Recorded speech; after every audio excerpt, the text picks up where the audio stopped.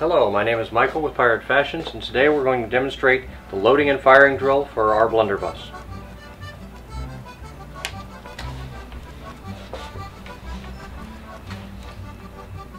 Verify your weapon is unloaded.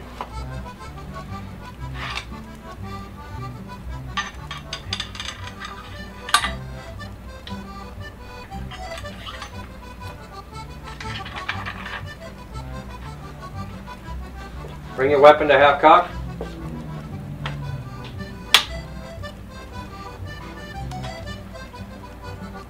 Wipe your flint, pan, and frizzen.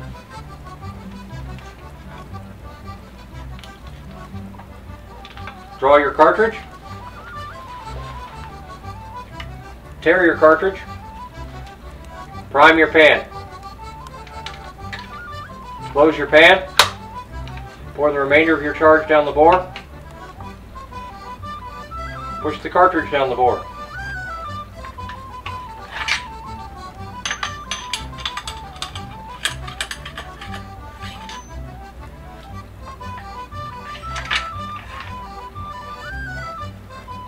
Present. Bring your cock to full cock. Fire.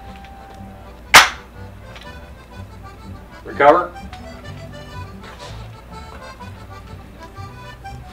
That concludes our loading and firing demonstration.